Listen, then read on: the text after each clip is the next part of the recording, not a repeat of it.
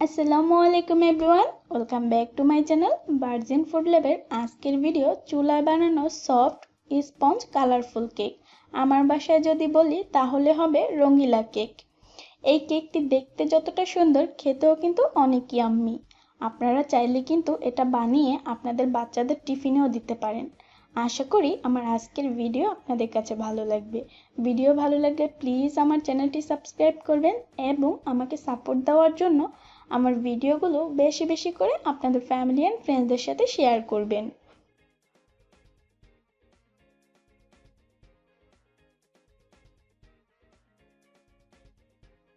Cake বানানোর জন্য প্রথমে আমি বাটার মিল্ক তৈরি করে নিব। আর বাটার মিল্ক তৈরি করার জন্য এইখানে আমি হাফ কাপ পরিমাণ দুধ নিয়েছি। এই দুধের মধ্যে দিয়ে দিলাম এক চা চামচ হোয়াইট ভিনেগার দিয়ে ভালো মতো মিক্স করে নিব। মিক্স করে নেওয়ার পর দশ মিনিটের জন্য এক পাশে রেখে দিব, তাহলেই বাটার মিল্ক তৈরি হয়ে যাবে। এখন আমি ড্রাই ইনগ্রিডিয়েন্টসগুলো চেলে নিব, তার জন্য একটি বোল নিয়েছি। এই বোলের মধ্যে নিয়ে নেব একটি চালনি। এই চালনির মধ্যে প্রথমে আমি নিয়ে নেব মেজারমেন্ট কাপের এক কাপ ময়দা। আমরা রেগুলার যে ময়দা ইউজ করি, এটা হলো সেই ময়দা। সেই সাথে নিয়ে নেব এক চা চামচ বেকিং পাউডার সবশেষে দিয়ে দেব ওয়ান ফোর চা চামচ বেকিং সোডা এটাকে কিন্তু অনেকে খাবার সোডাও বলে থাকেন। সব কিছুকে এখন চালনির সাহায্যে আমি চেলে নিব। চেলে নেওয়ার পর এই ড্রাই ইনগ্রিডিয়েন্টসগুলোকে আমি এক পাশে রেখে দিব। একটি মিক্সিং বলে প্রথমে আমি লার্জ সাইজের দুটি ডিম ভেঙে নিলাম। ডিমগুলো অবশ্যই অবশ্যই রুম টেম্পারেচারের হতে হবে, নর্মাল ফ্রিজে থাকলে এক ঘণ্টা আগে ফ্রিজ থেকে বের করে নিতে হবে। সেই সাথে মিষ্টির জন্য চিনি দিয়ে দিলাম হাফ কাপ। মিষ্টি আমি আমার টেস্ট অনুযায়ী দিয়েছি, আপনারা আপনাদের টেস্ট অনুযায়ী বাড়িয়ে বা কমিয়েও অ্যাডজাস্ট করে নিতে পারেন।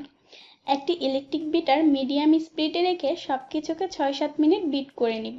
আর এইগুলোকে ততক্ষণ পর্যন্ত বিট করব, যতক্ষণ পর্যন্ত না সম্পূর্ণ চিনিটা গলে যায়। বিট করতে করতে যখন সম্পূর্ণ চিনিটা ডিমের সাথে গলে যাবে, তখন কিন্তু এই মিশ্রণটি এরকম ফ্লাফি হয়ে যাবে। এখন আমি বিটারটা অফ করে নিলাম। বিটারটা অফ করে নেওয়ার পর এর মধ্যে আমি দিয়ে দিলাম মেজারমেন্ট কাপের হাফ কাপ রেগুলার রান্নার তেল। আর দিয়ে দিলাম কিছুক্ষণ আগে যে আমি বাটার মিল্ক তৈরি করে রেখেছিলাম সেটা। সবশেষে দিয়ে দিলাম এক চা চামচ ভ্যানিলা এসেন্স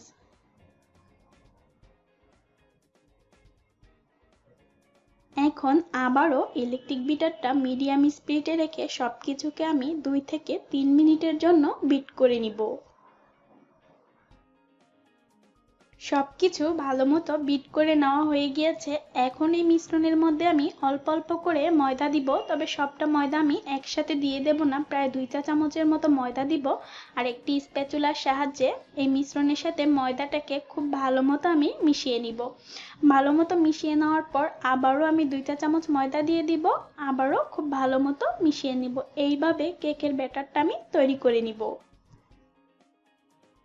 ডিমের মিশ্রণের সাথে সম্পূর্ণ ময়দা আমি ভালো মতো স্প্যাচুলা দিয়ে মিক্স করে নিয়েছি। কেকের ব্যাটার রেডি। এখন এই কেকের ব্যাটারটাকে আমি এক পাশে রেখে দিব। এখানে আমি তিনটি বাটি নিয়েছি। এই বাটিগুলোর মধ্যে কিছুক্ষণ আগে যে আমি কেকের জন্য ব্যাটার তৈরি করে রেখেছি, সম্পূর্ণ ব্যাটার সমানভাবে নিয়ে নিব।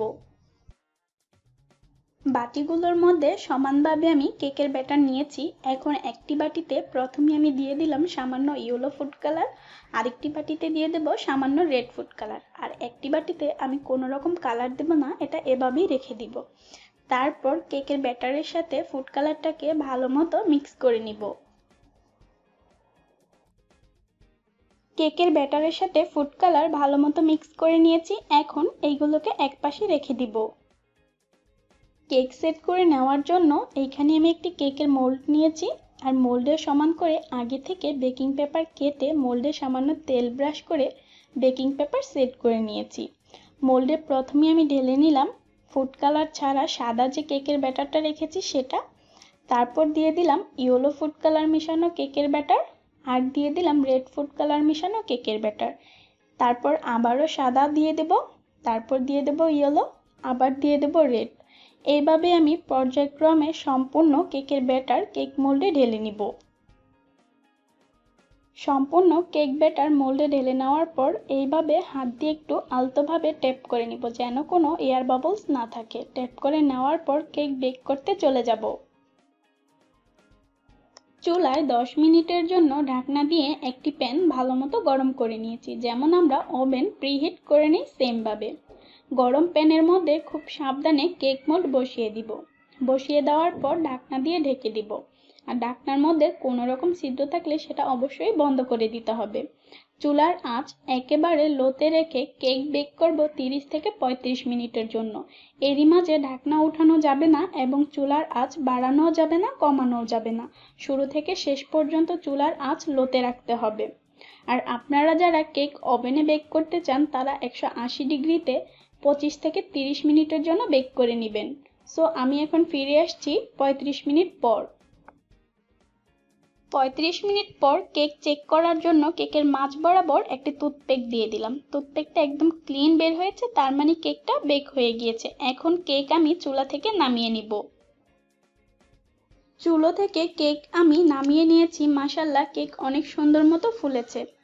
এখন আমি একটি পলিথিন র্যাপার দিয়ে কেকের মোল্ড সহ কেকটাকে ভালো মতো রেপ করে নিব। রেপ করে নেওয়ার পর সাধারণ তাপমাত্রা রেখে অপেক্ষা করব কেক পুরোপুরি ঠান্ডা হয়ে যাওয়া পর্যন্ত। এই কাজটি একটু সাবধানে করতে হবে। এই পর্যায়ে কিন্তু কেকের মোল্ড খুবই গরম। আর এই কাজটি আমি করছি, তার কারণ হলো এভাবে যদি আপনারা কেকটাকে সাথে সাথে পলিথিন র্যাপার দিয়ে রেপ করে ঠান্ডা করে নেন, কেকটা ঠান্ডা হয়ে যাওয়ার পর অনেক বেশি সফট থাকবে হার্ড হয়ে যাওয়ার কোনো রকম চান্স নেই। কেক পুরোপুরি ঠান্ডা হয়ে যাওয়ার পর কেকের উপরের পলিথিন র্যাপার আমি উঠিয়ে নিয়েছি এবং একটি নাইফ দিয়ে এখন কেকের চারপাশ খুব ভালো মতো আনমোল্ড করে নিব, যেন কেকটি উল্টাতে খুব ইজি হয়। আনমোল্ড করে নিয়ে কেকটি আমি উল্টিয়ে নিলাম, সেই সাথে কেকের পিছনে যে আমি একটি বেকিং পেপার দিয়েছিলাম, সেটাও উঠিয়ে নিব। আর এই কেকটি কিন্তু পিছনে খুব সুন্দর একটি কালার এসেছে।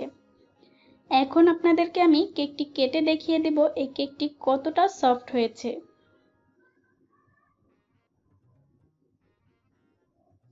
কেক কেটে নিলাম। দেখুন, ভিতরে আমি যে বলেছিলাম রঙিলা কেক, আসলেই কিন্তু এটা রঙিলা কেক হয়েছে। দেখুন, আর এই কেকটা কিন্তু অনেক সফট।